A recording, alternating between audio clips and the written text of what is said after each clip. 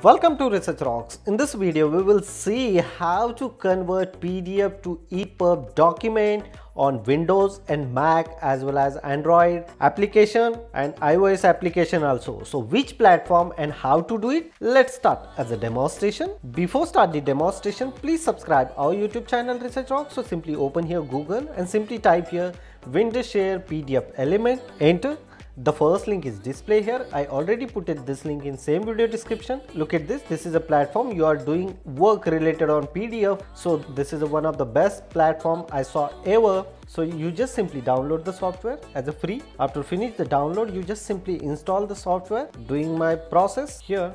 Click twice open. I already installed but you can install same as it is. I am doing windows and mac also.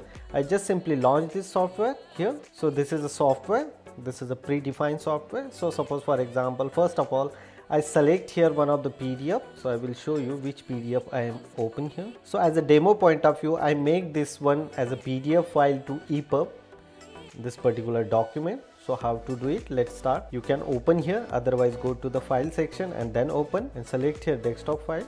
So this is a my pdf file is automatically open windows share pdf element pro. Here tool options are available you just simply click the tool option and here pdf converter options are available. You click here. Inside the pdf converter option here format which format you want convert specific file. So here click and here epub options are available. I select this epub and then again upload here. One file one folder entire document. So i just simply add here one of the file. As i already say this is a demo version.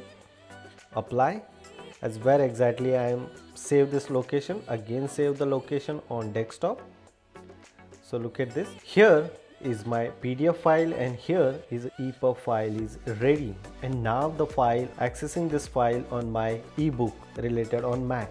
It's outstanding. As it is you are downloading as an online EPUB document so this file is add, as it is convert as a pdf to epub so using this tool you can convert as a pdf to epub and use your kindle device. Amazing and very simple. Hope you like this video. Before leaving please subscribe our youtube channel research rocks.